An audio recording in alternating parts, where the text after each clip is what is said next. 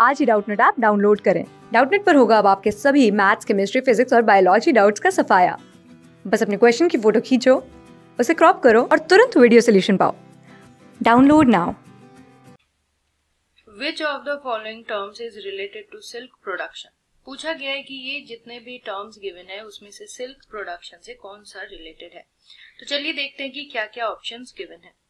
First है यहाँ पे फ्लोरिकल्चर फ्लोरिकल्चर एक ऐसा कल्चर होता है जहाँ पे फ्लावर्स के कल्चर जो है वो दिखाई देते है। यहाँ पे सिल्क प्रोडक्शन नहीं दिखाई देता है। इंस्टेड हम कह सकते हैं कि जो एनजियोस्पर्म प्लांट्स होते हैं, उन एनजियोस्पर्म्स के ग्रोथ को और फ्लावरिंग को यहाँ पे देखा जाता है। नेक्स्ट है जो कि टिश्यू कल्चर बोला गया है और टिश्यू कल्चर एक ऐसा टेक्निक है, हम कह सकते हैं।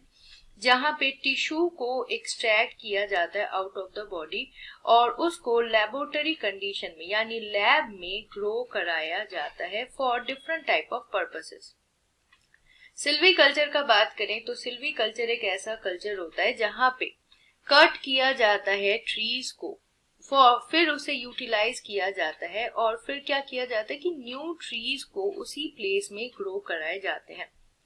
नेक्स्ट है जो कि एपीकल्चर बोला गया है। और एपीकल्चर हमें पता है कि ये बीज के कल्चर को बोला जाता है, जिसके थ्रू हनी जो है वो एक्सट्रैक्ट किया जाता है। और लास्ट जो है वो है यहाँ पे जो कि सेरिकल्चर बोला गया है। और बेसिकली सेरिकल्चर ही वो कल्चर है जहाँ पे हम कह सकते हैं कि जो सिल्क मॉथ्स होते हैं या फिर सिल्क वॉर्म्स होते हैं, उनको कल्चर किया जाता है। और फिर उनको रियर करके यहाँ पे सिल्क के थ्रेड्स को निकाला जाता है।